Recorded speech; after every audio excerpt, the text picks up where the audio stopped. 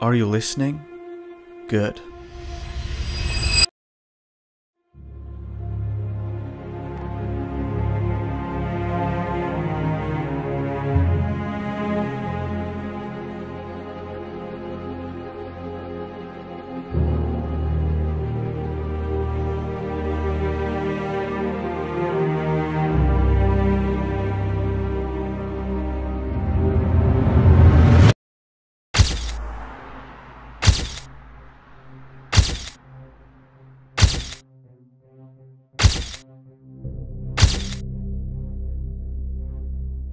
Around the world, over 8 million young people go missing every year. Including adults, that number is likely to be many times that. Approximately this means that excluding adults, 666,000 young people go missing every month. That's 166,000 every week, 23,000 every day, 960 every hour, and 16 every minute. While most of these disappearances reach a satisfactory conclusion, some seem to occur under very unusual circumstances. Sometimes, individuals are found weeks later in an area already searched, and the coroner isn't sure as to the cause. Sometimes the clothes are missing, particularly noteworthy are the shoes. And while these disappearances are generally rare, they do exist and seem to take place in rural areas. In this video, I wanted to explore just some of these kinds of disappearances that have been reported all over the world, so let's start with one that took place last month.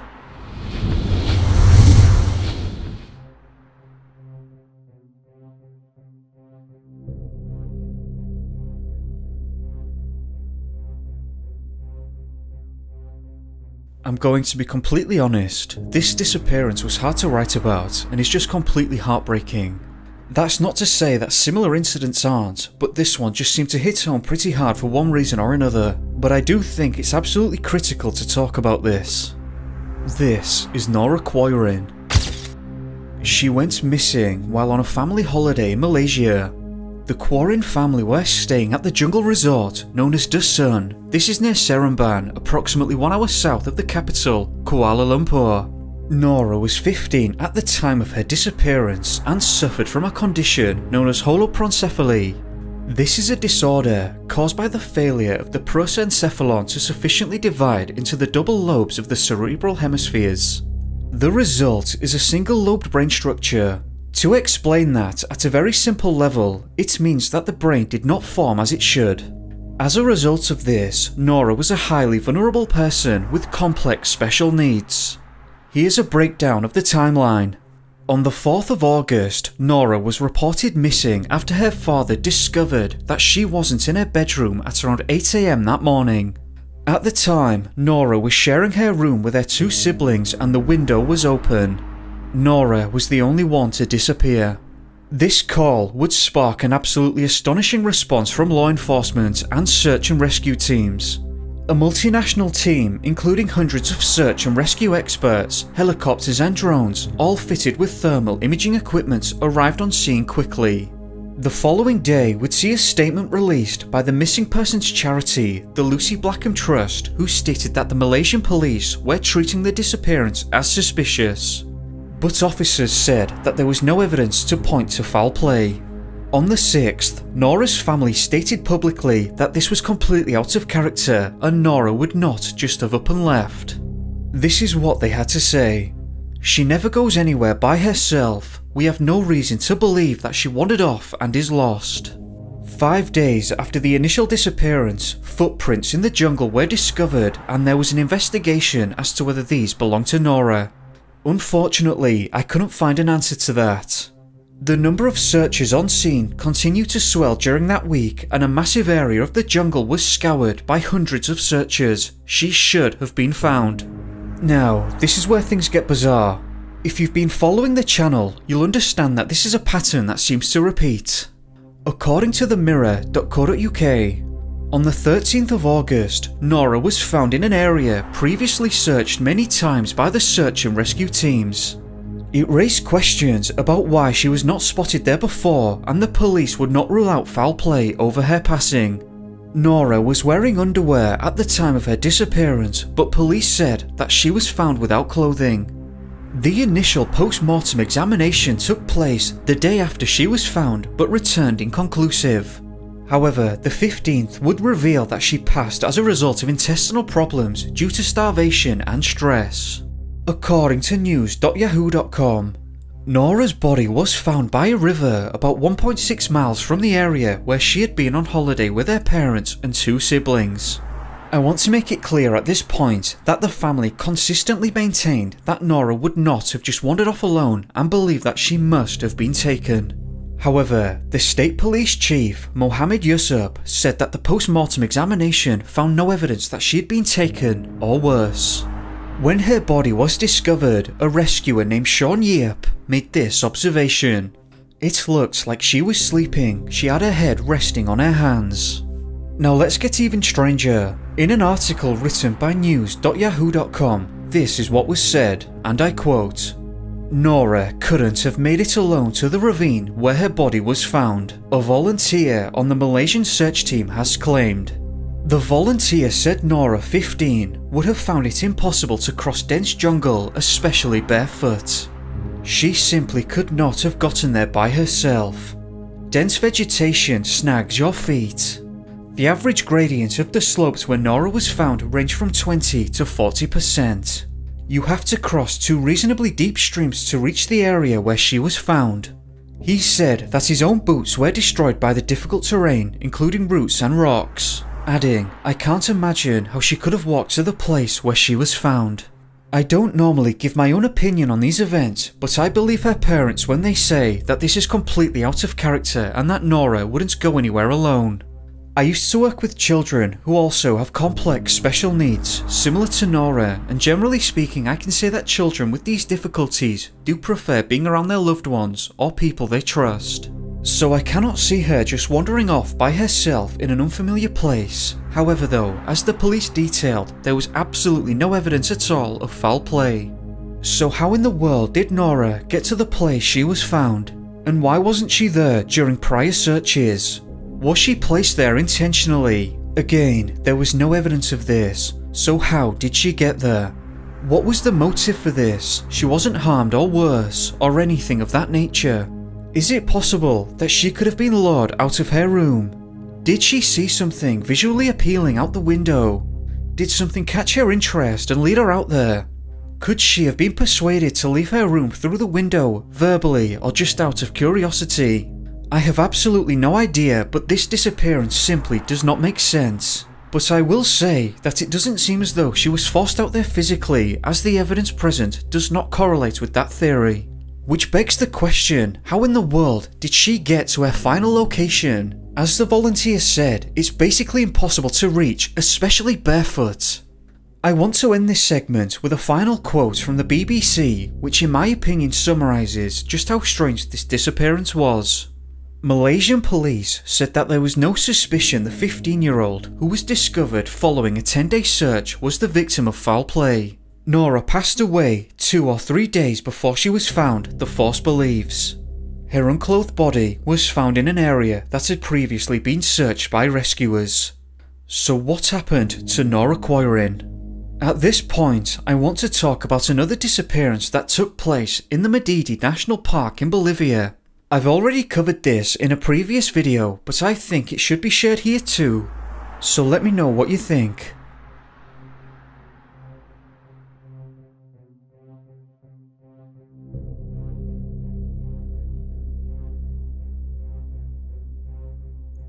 The Bolivian Amazon, or specifically the Madidi National Park, according to nytimes.com, goes from lowland to mountaintop from 600 feet to almost 20,000 feet above sea level. It covers more than 7,000 square miles of wildly different habitats. It has cloud forests, lowland jungles, rivers, streams, wetlands, it even has glaciers. The locals state that this jungle can swallow you whole in a matter of seconds and they say so for good reason. Rivers are vast and go through mountainous terrain with thick blankets of fog creeping throughout the jungle. Surprisingly, despite its vastness and low visibility, disappearances inside the national park's borders are fairly rare. There hadn't been a single recorded disappearance in the park for a long time until late February 2017. At 8.30pm on this particular night, the Madidi Park Rangers received a radio transmission in which it was relayed to them that 25-year-old Meikul Acuna had disappeared under highly unusual circumstances and left no tracks behind.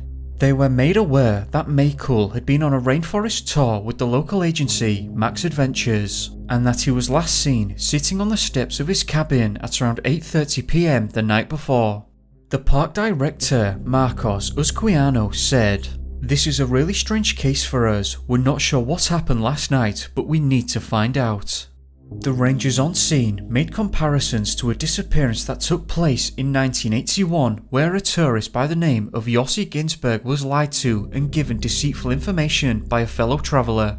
This led Yossi to being stranded in the rainforest for three weeks. But this incident was different. After the individuals in the group were questioned, it was thought that this was not the case. The rangers were described as being quiet and looking very determined. They quickly set off and began to search the immediate area inside the rainforest, thinking that Meikul couldn't have gotten very far given the harsh terrain and he was wearing sandals. Phaser, a guide for Max Adventures, relayed some interesting details. Phaser said in regards to Meikul that he had returned to the camp acting noticeably excited. He was acting a little bit strange, his face just didn't look normal. Phaser was keeping tabs on Meikul and invited him and the other tourists to participate in a Pachama ceremony, which is an ancient tradition thanking the Mother Earth for giving them permission to enter the forest. Meikul refused the invitation and remained at his cabin. From the point that Phaser left with the other tourists, another guide had made the visit to Meikul within 5 minutes, but he had gone.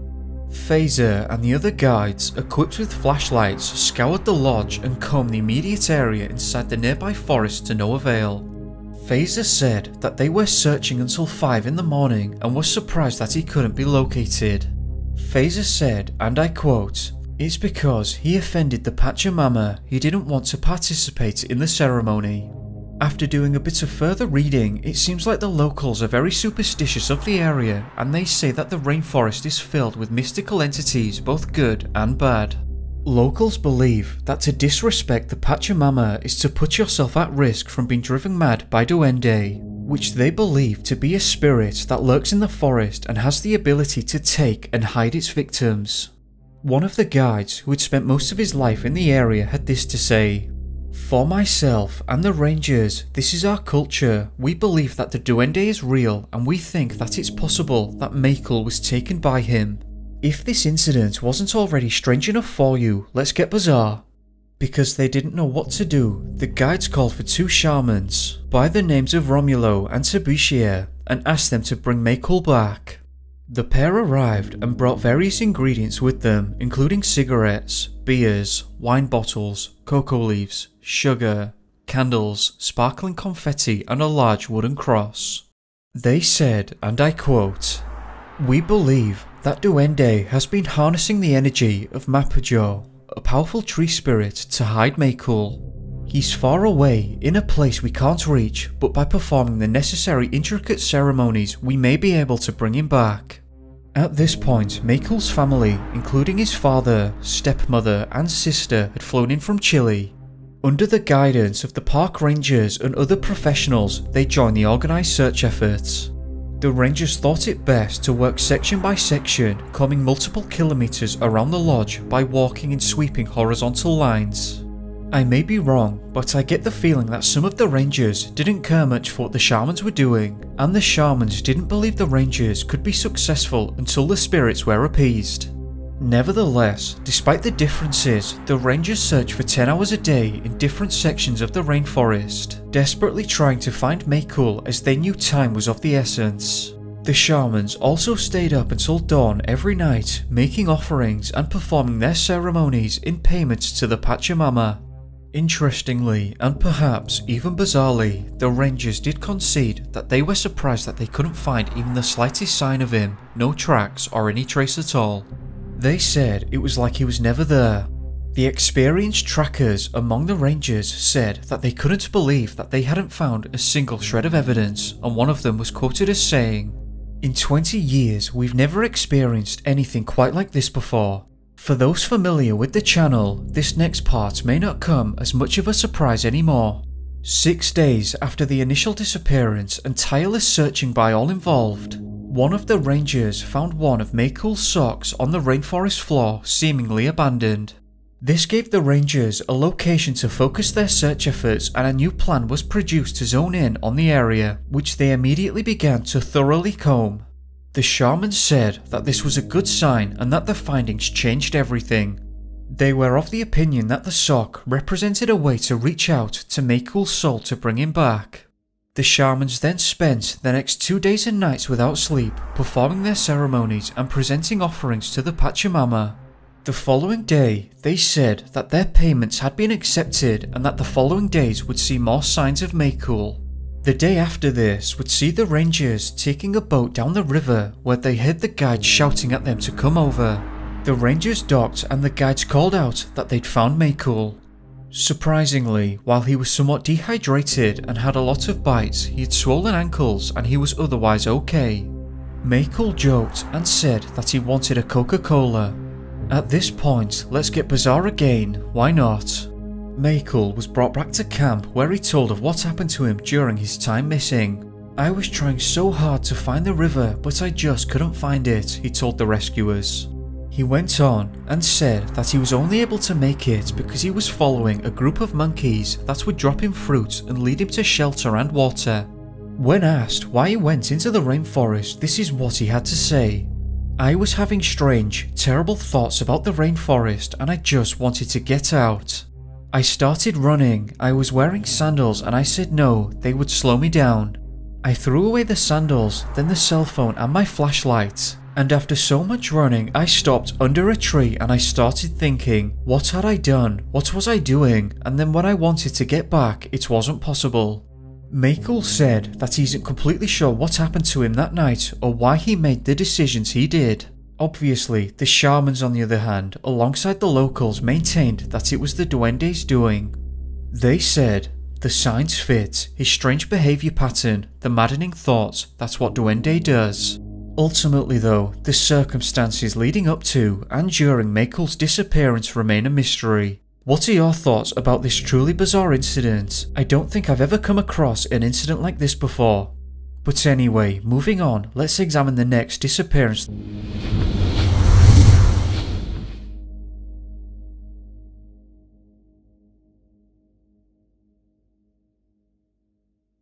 James Corfield, 19 years old at the time of his disappearance, was a young farmer and a talented cricketer. James was attending the Royal Welsh Show on the day of his disappearance. If you don't know what this is, and neither did I, this is what their website has to say. Along with an exciting four days of livestock competitions with entries travelling from far and wide to compete, the show has something to interest everyone through its wide range of activities including forestry, horticulture, crafts, countryside sports, shopping, food and drinks, and a 12 hour programme each day of exciting entertainment, attractions and display. Given that James was a bit of an outdoorsman, I can see why he would be excited for this event. But unfortunately, something highly unusual would take place on July the 24th, 2017. This was the date that James was last seen leaving the White Horse pub in Builth, Wales in the early hours of the morning. James was reported missing the following day at 2pm by his friends when he failed to return to his campsite. This sparked a massive search effort with just an unbelievable outpouring of volunteers who were already in the area for the event. But nothing was found and over 1,000 people flooded the scene and failed to find any trace of him. A few days into the search, volunteers were asked to stand down so that specialist police and SAR teams could better assess the situation. Now, this is where things get bizarre. James's body was found six days after he disappeared on the 30th. He was found in the River Wye, not far from the point he had disappeared. This is highly unusual because the river in question was scoured early on during the search, which means that he was found in an area already searched many times. At this point, I would like to read a short extract from walesonline.co.uk and I quote, A Dyfed Powys police inspector told the hearing Mr Corfield could have been trying to cross the River Wye to reach his campsite. Mr. Corfield would have been able to see the lights and hear music from the young people's village at the time he entered the water. Forensic pathologist Richard Jones told coroner Andrew Barkley that he could not give a cause of passing based on medical probabilities. Dr. Jones from the University Hospital of Wales in Cardiff said that there was no evidence of assault or restraint. He said, We are left with the difficult situation that James had been recovered from the water and there is no concrete evidence from the post-mortem examination that he is drowned. The pathologist suggested that Mr. Corfield may have passed due to the physical effects of being suddenly immersed in cold water or in other words, the coroner wasn't exactly sure why or what had caused James passing or why and how he entered the water. James's family did not believe that he would ever have voluntarily entered the water and also stated that he was not a heavy drinker. Roughly 100 milligrams of alcohol was found in his system, but as the coroner stated, there is no way that he could have been intoxicated at this level. Now, let's get even stranger. As the coroner mentioned, there was no evidence to suggest that James had drowned. According to Police Inspector Andrew Pitt, Mr. Corfield's body was found in 3 feet of water around 15 metres from the riverbank. He continued, The area he was found was only 3 feet deep, and had he been there the whole time, I would have expected him to be found there. He finished by indicating that there was no evidence to suggest foul play.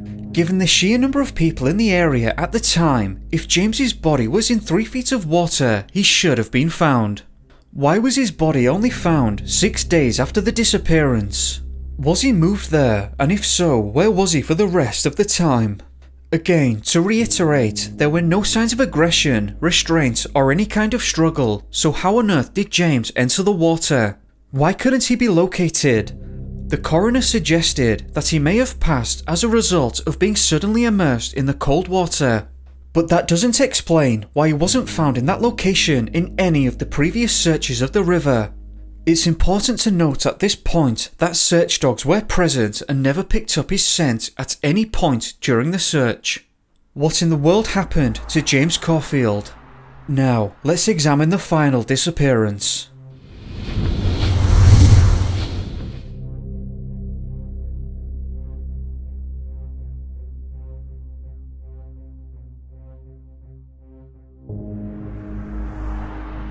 In late July of 2016, 21 year old Riley Zickel had planned to go hiking for a day with the intention of visiting his friends in Seattle.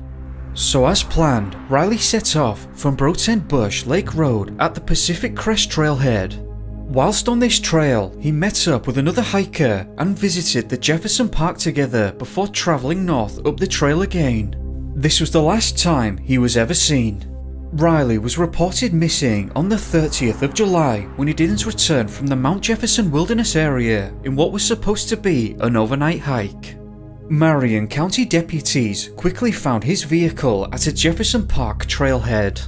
According to Riley's friends and loved ones, he was an experienced hiker and was in possession of the appropriate equipment and a good amount of food and water for his hike. Searchers scoured the area and spoke to many hikers on the trail, but no one had seen him. An emphasis was placed on the areas just north and south of Mount Jefferson in the Willamette National Forest and surrounding areas. Over 182 aircraft from the Civil Air Patrol made daily passes over the search area, but never once found him. These included thermal equipped helicopters, the search ended on the seventh day with authorities stating that they had exhausted all available leads. Over 340 searchers had failed to find any trace of Riley. After the official search concluded, Riley's family conducted their own search immediately afterwards, which also didn't produce any results. This search was also called off after a snowstorm hit the mountain, making any further attempts impossible.